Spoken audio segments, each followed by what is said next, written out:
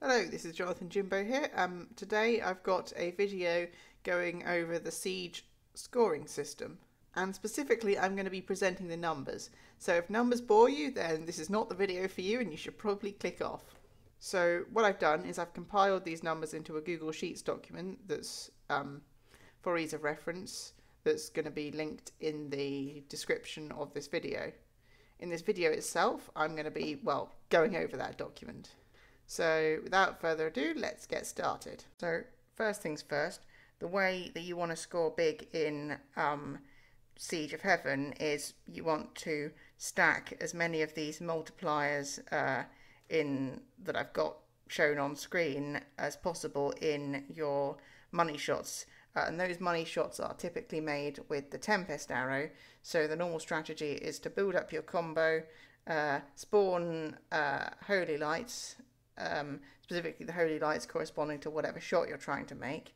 Um, and uh, as as I've listed here, though, um, as as long as you have uh, your achievements, those will be a times four multiplier, um, and then you'll be making those shots with Tempest to capitalize on uh, these multipliers as much as possible.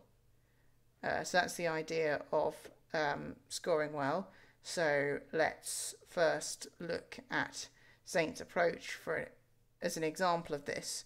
So in Saints Approach we've got the double gap shot um, and um, that carries the biggest multiplier.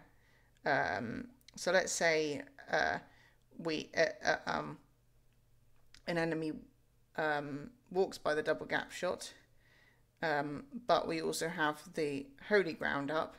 Now we have a times 32 multiplier. Um, uh, now, enemies at that position uh, are likely to carry the long shot multi uh, um, carry the long shot multiplier, so we can times that by 2.5. Um, if we um, if we score a perfect, we can add um, an extra times two to that. Um, we can also headshot with Tempest if we angle the shots right. So that's another times two. And we can quickly see that um, when you stack all these multipliers together, you can score quite a lot of points that way. Um, before I proceed further, I'm going to give credit where credit's due. Um, so credit to Aren360 um, uh, for working out both um, the double gap shot multiplier as times 8, whereas previously um, it was thought of as times 4, um, and also the uh, formula for multi-kill, which I will go into later on in this video. The next thing to be aware of is that different enemies have um, a different amount of base points. So in the previous case, we used the example of um, Saint's approach and specifically the double gap shot over the Holy Light. Um, now, it's important to bear in mind that um, if an abomination um, walks into that position and you make uh, that particular shot, you're going to score much less than, for example, if a Black Knight um, walks um, walks into that position and you make the exact same shot with the exact same uh, multipliers on it uh, because the base points um, is much larger. So you especially want to be watching for knights um, that walk by wherever shot you're trying to make. Um, and specifically, uh, knights with shields are worth 100 points more. Uh, and the colour of the knight also um, also matters. Um, but then there are other examples uh, of enemies that can be worth a lot more points. Uh, for example, Screamers in uh, Desolate Town and Siege Royale, they can be worth a fair, a fair bunch. Uh, obviously, you've got the Orphans and the Golden Bats. Um, what's interesting um, is that the Orphans and the Golden Bats, uh, you can you can, you can rage them they don't seem to make much of a difference in their animations, but you'll still get times two points. Uh, whereas for Cupids, um, if you try and rage them, you won't get any additional points, uh, and it doesn't seem to make a difference in speed either. Uh, and this is specifically when I hit the bell first, then spawn the Cupid. I haven't tried uh, doing that in reverse order. One thing in the previous clip that I forgot to mention is um, scoring for non-kill damage. So it's not just kills that awarded points, it's non-kill damage. However, um, if your shot doesn't kill the enemy, um, you don't get the full base points for that shot. Um, so one one thing I tested, um, I tested against a knight. I think it was a white knight, um, uh, and I did three body shots, which which killed um, the white knight, uh, and the total amount of points of all those three shots added up to 200. So it does seem that um, you're not losing points um, by uh, killing an enemy in several goes. Um, uh, we're not um, we're ignoring uh, losing losing out on the headshot multiplier here, um, but uh, just simply killing an enemy in three goes um, itself doesn't seem to be losing any points. Um, on the other hand, those points awarded for each of the three shots were, didn't seem to be distributed evenly. I got more more points for the killing shot. I think I got around 100 for the killing shot, whereas I got 50 for the previous two body shots. Yeah, I think all of those shots had roughly the same power and did roughly the same damage. So the next thing to bear in mind if you want to score big is the combo multiplier. Uh, so not only do you want uh, a multiplier in terms of the shot you make, um, and not only do you want high base points, but you um, you also want to be doing that with a high combo uh, for the maximum amount of points on your shot. Uh, so first off, credit to ArbyAvenue for these numbers, at least up until uh, combo length of times 24. And then what I've done is I've extrapolated the same pattern. Uh, you, if you look carefully, um, uh, after a certain point, you start adding uh, 0.2 to the combo multiplier uh, for each combo. So what I've done is extrapolated that forward all the way until combo uh, times 100. Uh, now, uh, I haven't gone and individually verified all of these numbers. In fact, I don't think, I don't even know if it's possible to get a combo of 100. Um, but uh, I did verify for one of the numbers, I think somewhere between a combo of 40 and 50. Um, so what's most important uh, to note here uh, is that you get diminishing returns um, for higher combos than you get for um, increasing your combo at the start. So obviously if you don't have a combo at all before your shot, so the shot is made with a combo of one, you have a one times multiplier. Um, but if you um, just by shooting one enemy before you make your money shot, now that money shot is going to be worth twice as much. So it's it, you you never want to be making your best shots with with a combo of one. Uh, that that that that's silly. Even if you've broke, even if you've broken your combo just before, you at least want to double your points with with a combo of two. Um, uh, and then the next one 2.7 so you um, uh, you don't get quite as much uh, and then roughly once you've got um, a combo of 9 uh, it, it, it then completely tails off to um, an, uh, plus 0.2 per uh, per combo so towards the beginning of this video I um, had said I was going to explain how the multi-kill bonus works. Um, and this is more complicated than um, the other multipliers. So what I'm going to what I'm going to do um, is give an example. So let's say that uh, we have a combo of 10, um, then we fire a cataclysm. Uh, that cataclysm goes off and kills five abominations, um, and at the end we have a um, combo of 15.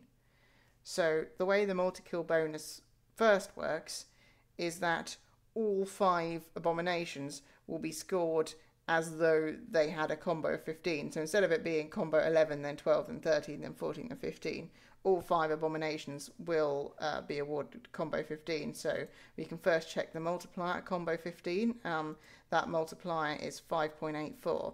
Um, so um, all of those abominations will have a, a combo multiplier of 5.84. Um, now, the next thing that happens is a 20% bonus is awarded um, on all uh, kills within the multi-kill. Um, so that, that that that would basically explain what happens if if it was just a cataclysm fired and there were no other multipliers. Uh, it gets more complicated though when you consider multipliers as well as non-kill damage. Uh, so we start with non-kill damage.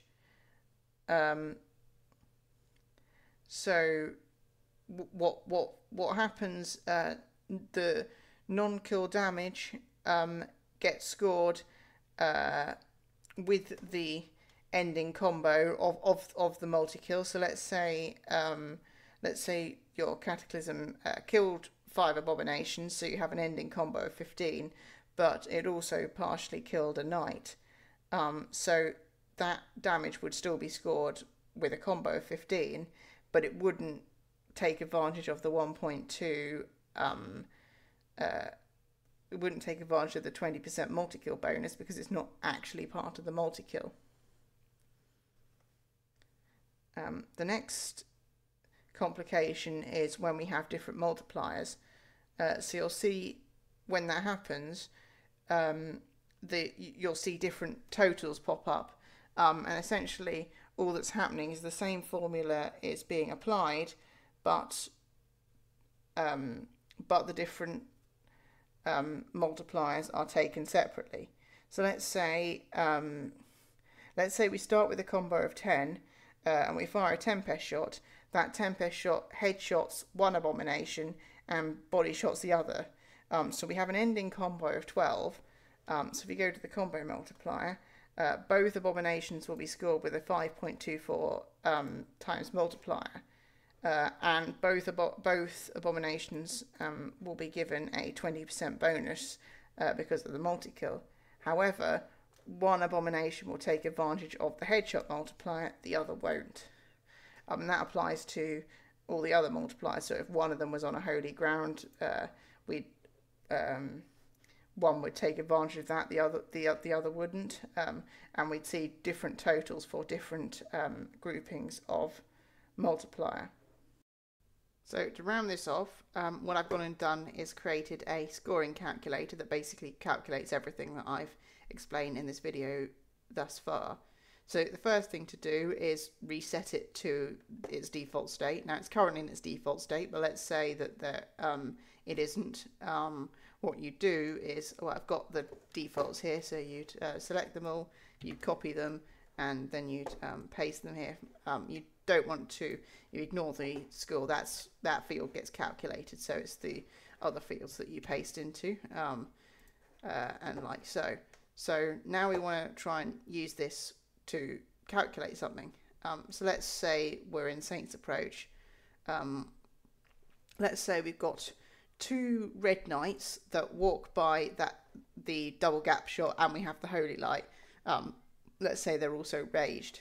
Um, so um, we got two holy knights. I mean, we got two um, red knights. Sorry.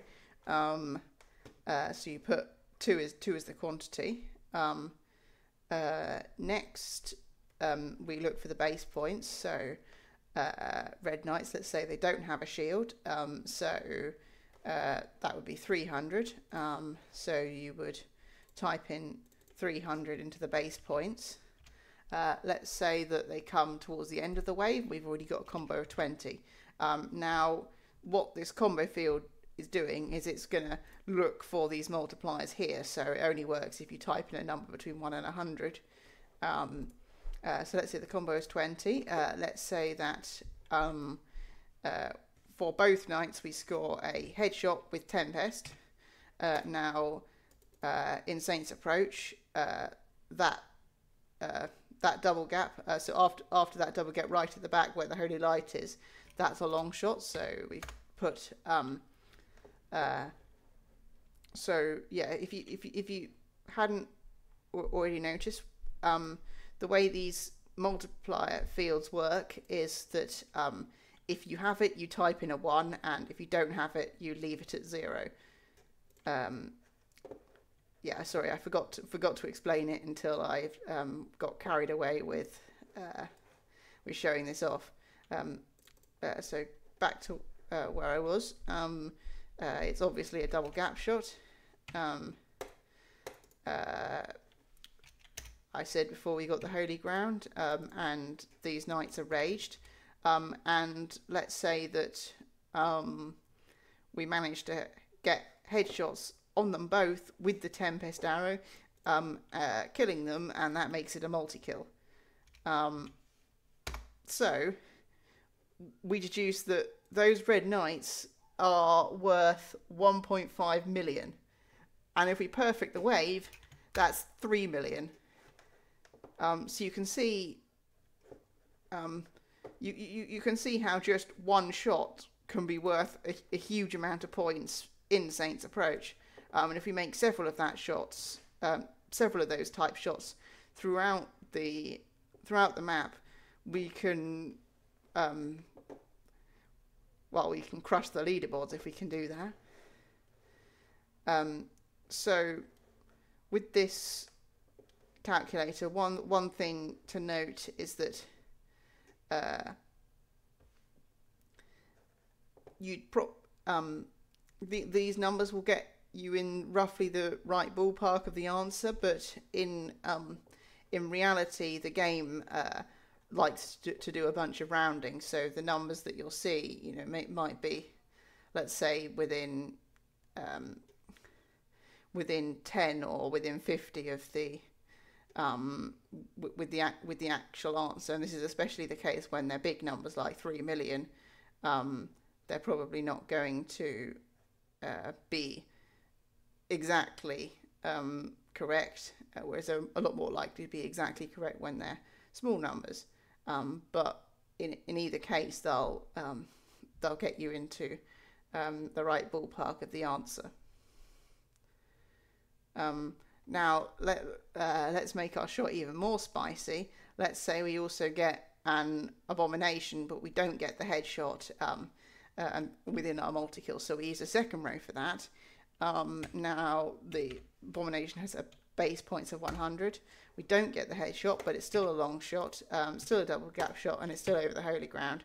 Um, and we're still it's still rage and multi kill, um, and uh, and we still get a perfect wave. So now we add 38k to to the total. Um, uh, it hasn't made much of a difference, but again, this is this is for demonstration purposes, just to, to how to calculate these things. So, yep, I think that explains everything. Um, I think that explains everything you need to know um, for this calculator. Um, the only thing I want to point out is um, I recommend creating a copy of the um, a copy of this document uh, to use locally because that that way you can um, you'll be able to edit these fields. Whereas I think in the public version, I'm going to be locking these fields for editing. Well, I hope that has been useful. If you have any questions, please feel free to drop them in the comments section. And that being said, I hope to see you guys exponentially climb the Siege leaderboards one multiplier at a time.